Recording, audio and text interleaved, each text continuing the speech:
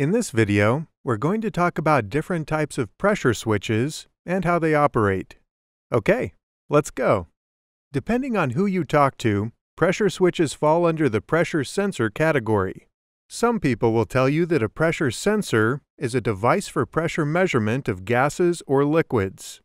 Included in this pressure sensor category, along with pressure switches, are pressure transducers, pressure transmitters, and pressure senders, among other names. This can be a bit confusing because in the world of instrumentation and process control, we define a sensor as a device that detects changes in physical, electrical, or chemical properties and produces an electrical output in response to that change. And just to add even more confusion, the terms pressure sensor, pressure transducer, and pressure transmitter are unfortunately used interchangeably in the industrial world.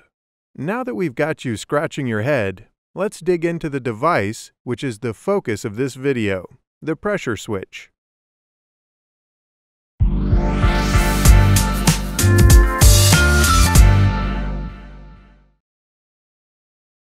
First of all, let's start by defining what a pressure switch is. A pressure switch is a two-part device consisting of a sensing transducer and an electrical switch. The electrical switch opens and closes at a specific pressure, often referred to as the set point. Depending on the switch and the vendor, the switching pressure set point may be fixed or adjustable. A transducer is a device that converts one form of energy to another. So, the transducer part of the pressure switch is the piece that comes in contact with the process under test. Then somehow, the transducer has to operate the electrical switch. Vendors produce pressure switches using different types of transducers and different types of switches.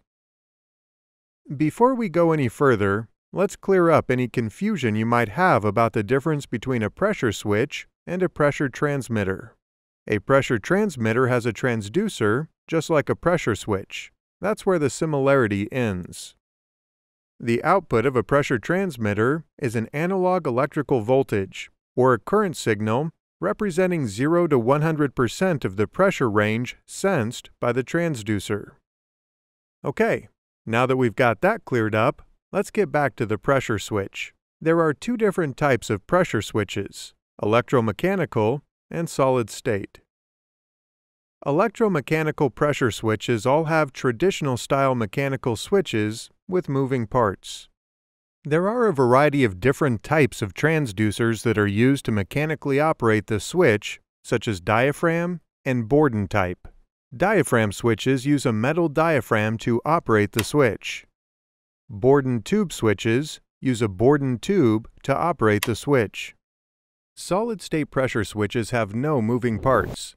Electrical switching is accomplished by operating a semiconductor device, such as a bipolar junction transistor or a field effect transistor. A typical transducer used on a solid-state pressure switch is a strain gauge Wheatstone bridge. The term electronic pressure switch is slowly replacing the term solid-state pressure switch. The electronic pressure switch is solid state, but much more versatile. It offers options such as programmable functions, LED displays, multiple and adjustable output switch configurations, such as normally open, normally closed, or both. Which type of pressure switch is better, the electromechanical type or the solid state type? As with all instrumentation, the choice between the two depends upon the application. Solid-state pressure switches provide several advantages over electromechanical switches, such as longer life, better accuracy, shock and vibration resistance. Generally speaking, electromechanical switches are capable of switching higher currents and are not voltage dependent.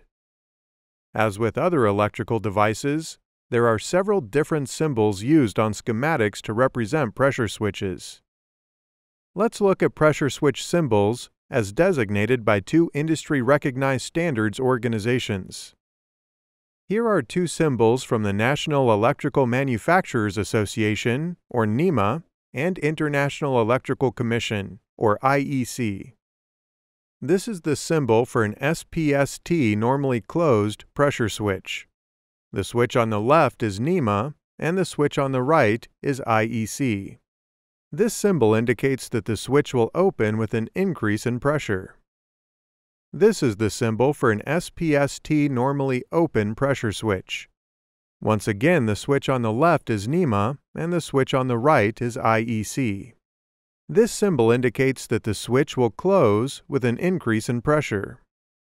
This is a good time to mention that all pressure switches on a schematic diagram will be shown in their de-energized condition, or in other words, the condition they would be in sitting on a shelf. Let's examine a couple of pressure switches on schematics. PS101 is a normally closed switch that will open on an increase in pressure above 15 psi. In this example, the brake oil filter pressure switch is normally closed and will open on a decrease in pressure below the set point. The set point is not stated in the schematic. One more thing before we wrap up. What is pressure switch deadband? We said that the brake oil filter pressure switch is normally closed and will open on a decrease in pressure below the set point. Let's assume the set point is 15 psi and the switch has been operated, meaning the pressure has dropped below 15 psi. If the switch does not close again until the pressure rises to 17 psi, then the deadband is 2 psi. So, what is deadband?